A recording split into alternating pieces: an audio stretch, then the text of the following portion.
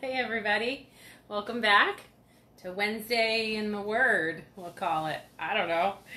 Um, hopefully, everybody's having a good day today. Um, weather's getting colder. Uh, I love it. I'm so excited. Sweatpants and sweatshirts and blankets. Favorite season. Very excited about that. We're just going to give people a couple minutes to get on. Are you excited about the colder weather? Mm, I'm thrilled. it's not actually his favorite, um, but it is mine. I love it. It's been a little chilly in the mornings. I just don't like that it gets dark so early. That's the only piece that I don't enjoy. But other than that, I, I'm always hot, so it's great for me. Um, let's see what time it is. Just give people. Okay, good. Um, I think we're good to start, and uh, we'll just pass it over. Okay. All right. So um, we've been looking at the word peace, right? In the last couple weeks, we looked at peace in Luke, and that was what? Proclamation. Mm-hmm. God's proclamation of peace to the world. And then in John, and John was Jesus, who is the peace of God, and his words of peace to us. I wasn't ready for a pop quiz. Well, and then uh, so this week we're going to look at peace with God. I have four little points, and um, the first two kind of just going to go through quickly. The last two is the ones we want to sort of focus on, um, but it's the world does not know peace. Uh, peace with God comes through Jesus, and then a life lived in peace with God, and then peace completed. So, uh, we'll start in Romans chapter three read verse 17 and 18. And it says, The way of peace they have not known. There is no fear of God before their eyes. Now, this is the Apostle Paul writing to the church in Rome, and he's actually quoting the Old Testament here. Um, but essentially, what he's saying is that the world can't know peace because it doesn't know God. And peace, lasting, true peace, comes from God. And if they don't know God, they don't know peace. And the problem is really sin. Sin is a barrier between us and God. And so sin creates a lot of problems in our lives, in our world, and uh, sin ruins peace, right? It goes all the way back to the Garden of Eden. There was peace, and then sin came in. What happened? It ruined everything. Um, so, you know, this is, of course, true of the unbeliever. It can also be true of the believer, not the part about um, being in the world, but the idea of sin being a barrier between us and God. And we'll talk more about that in a minute, but um, just that idea that, um, uh, yeah, the world really can't know peace because it doesn't know God. So, uh, point number two, we're going to find in Romans chapter 5. and we're going to read verse 1, and it says, Therefore, having been justified by faith, we have peace with God through our Lord Jesus Christ, through whom we also have access by faith into this grace in which we stand. Right? And so, of course, this is the solution to the problem. Uh, again, Paul writing, and he's continuing on now. And um, those who put their faith in the Lord Jesus, right, we have peace with God because peace with God comes through the Lord Jesus, right? He's the one that came and did the work on the cross of Calvary, which bought our peace, right? Um, and so, um, yeah, for those who are in the world, first problem is salvation, which is um, faith in God through the Lord Jesus Christ and the work that He's done. That brings peace with God. That's where we need to start, right? Is peace between us and God. The sin problem taken away. Um, again, also, um, speaking of the Lord Jesus and his work as mediator, which is a go between, right? That's also true for the believer because, of course, sin, just because we get saved, doesn't mean sin goes away. And we still sin, so we still need the Lord Jesus to do that restoration work, not salvation work, but restoration work.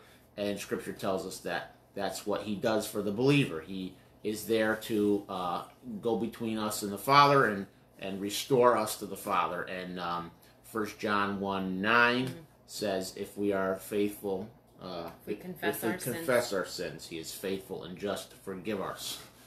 Um, so, And to cleanse us from all unrighteousness. Sorry, I had to finish. you. That's all right. Can't be halfway So, through um. And then verse 2 there, you know, it just says, uh, through whom we have access, through whom, speaking of the Lord Jesus, we have access by faith into this grace. And uh, just a simple way of thinking of grace is the goodness of God. And the goodness of God is that He wants restored relationship, He wants peace between us and Himself. And so that's why He sent the Lord Jesus in the first place, right? And so, um, yeah, through the Lord Jesus, we have access into all of this. Okay, point number three, we're going to find in Romans chapter 8. And these are the two I want to talk a little bit more about, which somehow I always end up talking more than I think I was going to on these points. But all right, Romans chapter 8, and we're going to start in verse 5. And it says, uh, For those who live according to the flesh set their minds on things of the flesh, but those who live according to the Spirit, the things of the Spirit. For to be carnally minded is death, but to be spiritually minded is life and peace. Because the carnal mind is at enmity against God, for it is not subject to the law of God, nor indeed can it be. Uh, so then, those who are in the flesh cannot please God. Okay, so let me just uh, condense this down. Basically, what Paul is writing again to the church in Rome, continuing on. Now that we're believers and we've had that sin problem taken away, now we have to we have a life to live. We're still left here to live a life, right? God just doesn't take us right away. So he says, here's the deal. If you want to have life and peace, and he's talking about uh, good spiritual life and peace, spiritual peace, um, we need to be spiritually minded, right? The carnal minded basically means self focused, flesh focused, me, I. Spiritually minded is God focused, uh, His will, His works, His ways, obedient to the Holy Spirit and what He tells us to do. Uh, so those are your kind of your two options as a believer in the Lord Jesus. Um, is we can either be carnally minded and s- focused on ourselves and what we want, we can be spiritually minded and focused on God and what He wants. And so, depending on which one of those we follow, depends on how much peace we have in our lives and how much, yeah, well, peaceful life we live day to day. Um, you know, and we God gives us that option. So if we you know, want to do what we want to do, and we don't have much peace, well, we shouldn't be too surprised. Um, but hopefully, as believers, we want to follow God, and we want to do what He wants us to do, and um, yeah, have our minds and thoughts set on Him. And of course, that requires knowing His Word, right? And because there's a lot in Scripture that will help us to know what God would have us to do, and then of course, the believer has the Holy Spirit also, and uh, there's also the conscience that God has given us. There's lots there that God has given us to kind of direct us the way that He would have us to go, right? And so then that will bring peace in our lives and peace with God, right? Uh, so then the last little point I wanted to make was peace completed, and that we're going to go to First Thessalonians. and it's the very end of the book, chapter 5, and uh, 23 and 24 says, Now may the God of peace himself sanctify you completely, and may your whole spirit, soul, and body be preserved blameless at the coming of our Lord Jesus Christ. He who is uh, he who calls you is faithful, who also will do it.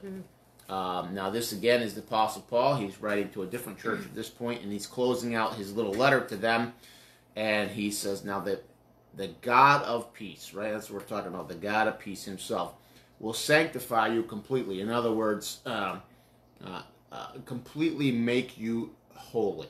And um, it's interesting that he uses these three words here spirit soul and body which are the three parts of who we are as human beings. And when you think about what we just talked about the spirit is uh, I'm going to use the sanctified word, but um, the Spirit is, um, yeah, sanctified. I'm probably explain it is set apart to Him, made holy. But that happens when we get saved, when we trust in the Lord Jesus. First thing we do is receive the Holy Spirit, right? So then the second part is the soul. That's your mind, your will, emotions, your thoughts. And that's what we sort of just talked about in Romans chapter 8. That's what God wants. He is working out in us now, and we have a little bit of part to play in that because it's sort of our responsibility where where our mind is, right? Um, and then the last part is our body, and uh, our bodies we're still stuck with these bodies, but someday when we go to see the Lord Jesus, as we was talking about uh, the coming of the Lord Jesus, when He receives us to Himself, then He's going to give us new bodies, sinless bodies, and so then you'll have the whole complete human will be sanctified, set apart, or holy uh, to God. And what I liked about this verse is that it's God who does it, right? Mm. So I don't have to worry about failing in the completing of my whole becoming holy and my perfection uh, according to what the Lord uh, would have us to be because He started it the day He saved you and He's gonna finish it. Now we have a little bit to play here in the middle uh, with our mind and where our thoughts are, but we don't have to worry about failing. That's the part I really am encouraged by uh, because God is going to complete that someday. Um, so, uh, just some thoughts on uh, peace with God, and I hope that that's an encouragement and a blessing to you. Mhm. And then next week we'll uh, uh, continue on with some more.